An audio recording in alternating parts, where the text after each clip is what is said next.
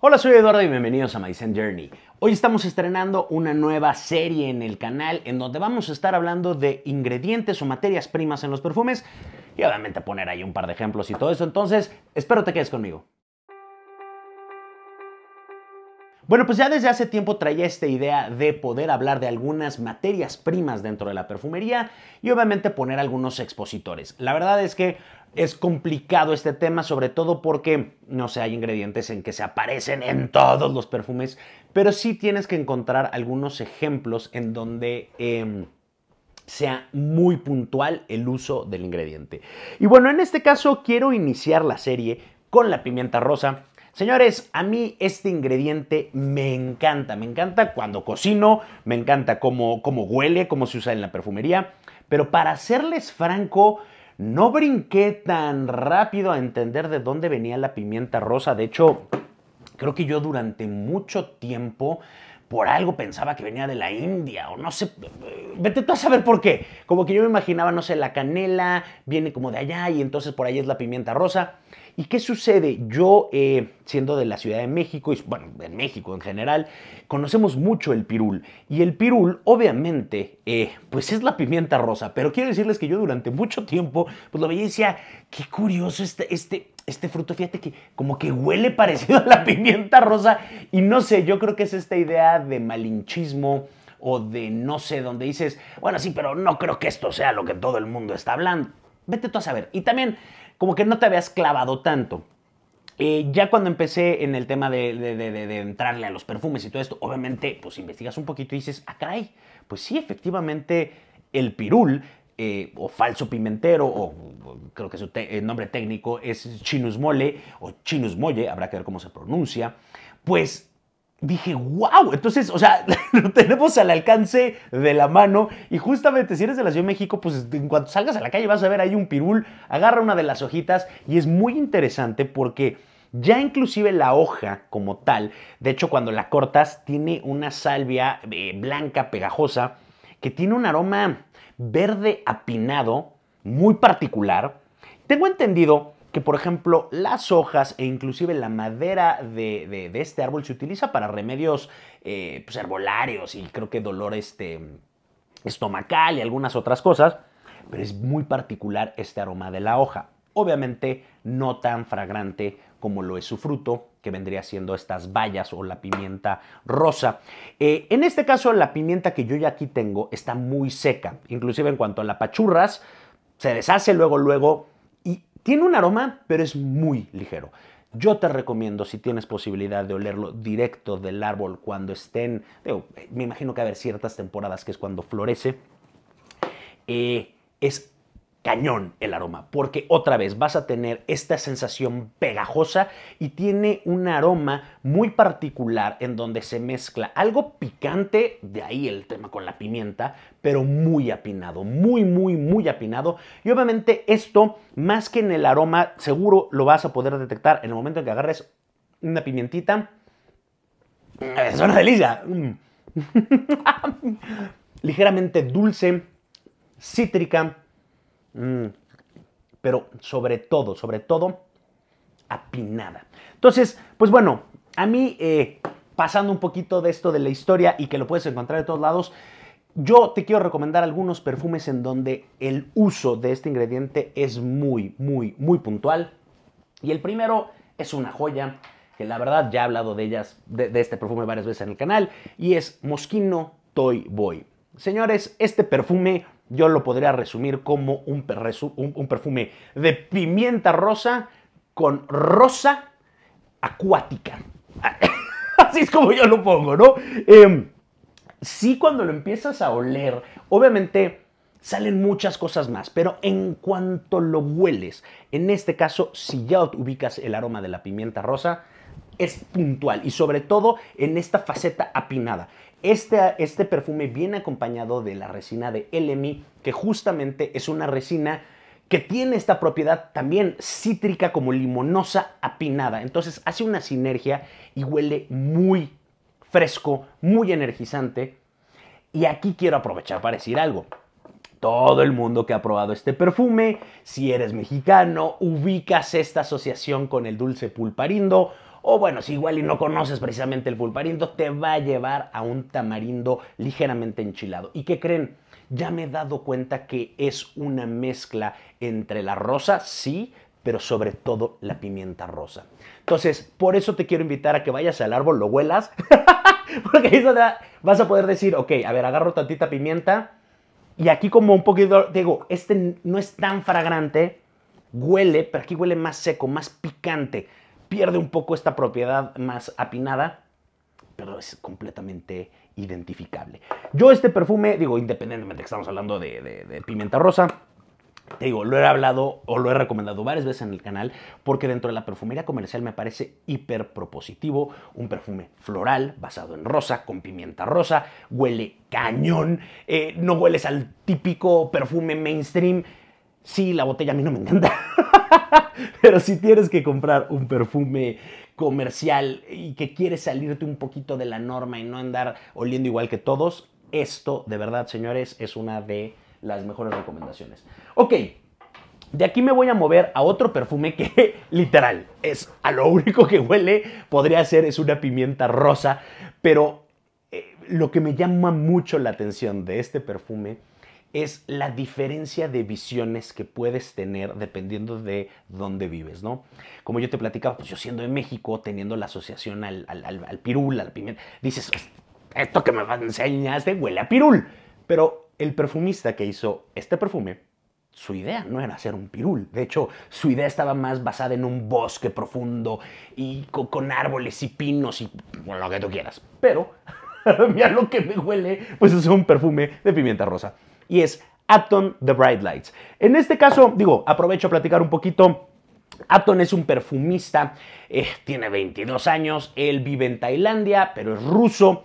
Él hace todas sus, eh, todos los ingredientes que utiliza en la perfumería, es decir, no va y los compra y los mezcla, sino ellos hacen sus tinturas, hacen sus, este, ¿cómo se llama? Varios de los ingredientes. Entonces, en este caso, él utiliza un pachuli que tiene añejado desde el 97. De hecho, su colección incluye ese pachuli, pero sobre todo la pimienta rosa. Y señores, no.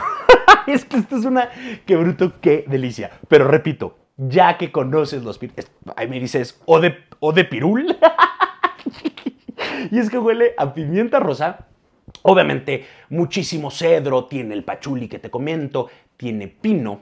Entonces, en Toy Boy hablábamos de que tenía LMI, esta resina cítrica eh, apinada. Bueno, aquí, aquí tiene pino, ¿no? Entonces, sí, y yo perfecto entiendo cuando me dice el bosque, Claro, me transporta una idea que te voy a tratar de dejar aquí al lado. Eh, si has ido a Valle de Bravo, a eso. Es, un bosque ligeramente húmedo, frío, lleno de pinos. Y sí, completamente. Te, te, lo platico por ahí y te vas para allá. Pero si yo te digo, a ver, huele esto. no sé si está lo que huele esa pimienta rosa. Ahora, este perfume lo que me encanta es que, como se. O sea, ¿cómo te puedes explicar? Lo realista que es en, el uso de los ingredientes es cañón. Oye, aquí hay evolución y empieza y... No, la verdad es que es un perfume súper lineal, pero si lo has tenido, o sea, si has tenido chance de probar algo de Aton, lo que vas a darte cuenta es esta propiedad como súper natural de sus ingredientes. Entonces, bueno, el segundo expositor de pimienta rosa sin duda tiene que ser The Bright Lights de Aton. Ok, aquí vamos a regresar al mundo comercial. Pero bueno, mundo comercial con una colección que yo siempre he dicho que me parece más propositivo, o mínimo hasta antes era más propositiva, más nichosa, y este es uno de sus mejores expositores. He hablado muchísimo de él en el canal, sabes que es de mis favoritos, 97 Natural. Señores, esta es una versión más fresca, chispeante del clásico 7. El 7 es un perfume basado en incienso. Bueno, pues en este caso dijeron, ¿cómo podemos hacer una composición? Pues densa, oscura, más, eh, a mí me lleva más como a octubre, noviembre, no lo sé, este, hacerla fresca. Y bueno, pues aquí le hicieron con una nota chispeante, justamente, oh bueno, wow, de pimienta rosa y un cítrico que es el yuzu. Señores, este perfume lo único que te puedo decir es que me da mucho, mucho, mucho, mucho coraje que haya sido descontinuado. Eh, no entiendo por qué habrán hecho eso. Eh, me parece que es de lo que hacían dentro de la colección 7. Era mágico. Este, yo tengo 3, 4 botellas de backup, entonces, bueno, no tengo problema. Pero si lo llegaste a probar, Este es otro ejemplo de la pimienta rosa. Y aquí vamos a encontrar estos cítricos brillantes, pimienta rosa y obviamente el incienso. Y no sé si ya te estás empezando a dar cuenta cómo hay un hilo conductor en estas, en estas tres composiciones que te seguimos hablando y bueno, de las que vamos a seguir hablando, vamos a encontrar muchos elementos recurrentes. Y pues así, digo, yo me imagino que cuando quieres, no sé, hacer una, una, una composición en donde destacas un ingrediente, pues tiene que tener esa, no sé si usas la misma receta, ish, en ese sentido, ¿no? Pero bueno, señores, esto es que si quieres saber un poquito más de 7 Natural o de toda la colección de 7, te invito a ver uno de los primeros videos que hice en el canal ya hace algunos añitos, entonces échale, échale ojo.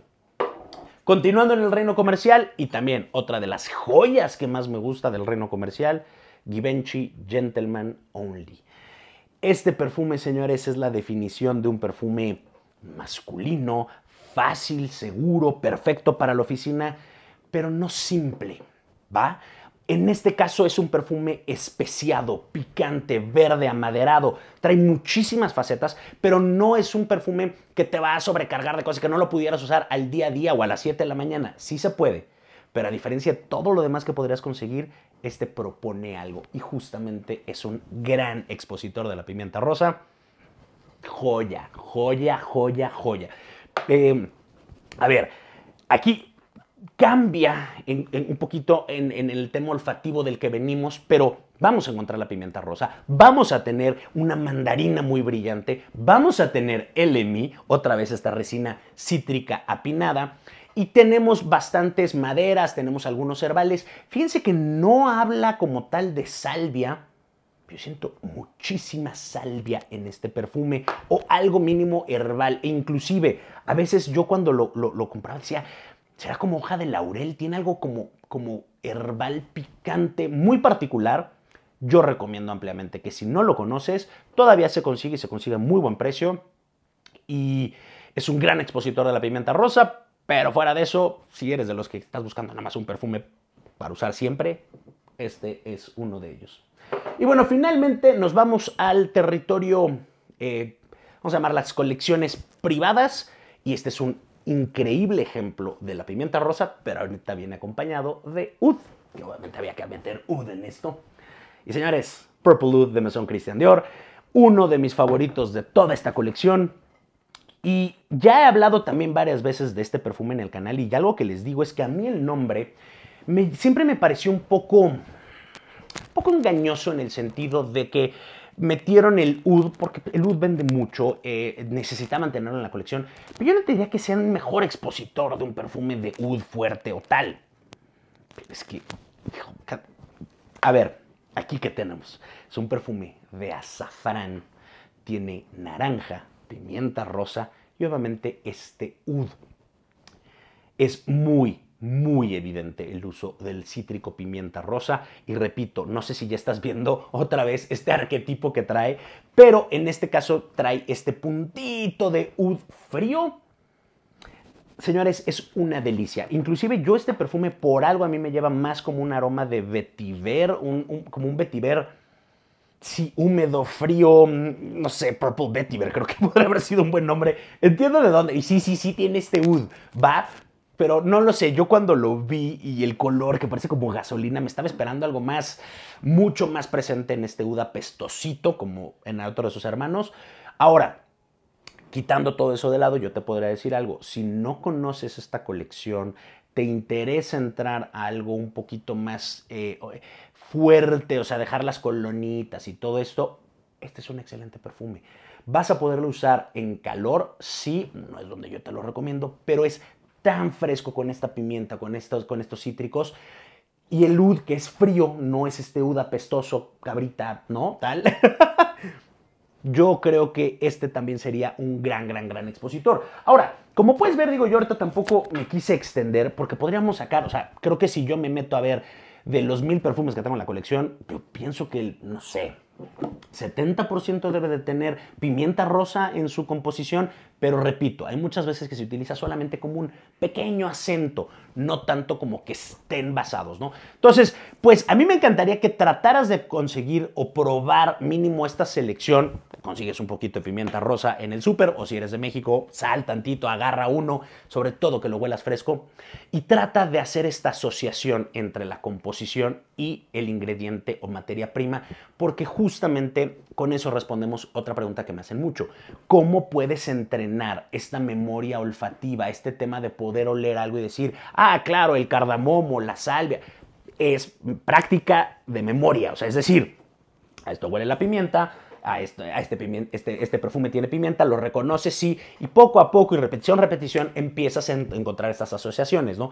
Entonces, yo, este sería un ingrediente que creo que es muy fácil de conseguir, es delicioso y seguramente debes de tener algún perfume en tu colección que lo tiene. Entonces, te invito a que lo hagas y obviamente en esta serie iremos hablando de ingredientes, pues seguramente vamos a hablar de la rosa, de la lavanda, ta, ta, ta, pero también vamos a intentar entrar a algunos ingredientes un poquito más complejos y con eso a un proyecto que estamos trabajando muy interesante para poder eh, que tengas acceso a estas materias primas y que justamente pues en tu casa puedas armar un órgano y vayas entrenando en esta pasión que, bueno, pues al final de cuentas, no, posiblemente nunca vamos a hacer un perfume o no nos vamos a dedicar a eso, pero en este hobby vas a querer, ¿no? Seguir creciendo y seguir aprendiendo. Entonces, pues señores, eh, no me queda más que despedirme y espero les guste este nuevo formato. Nos vemos. Bye.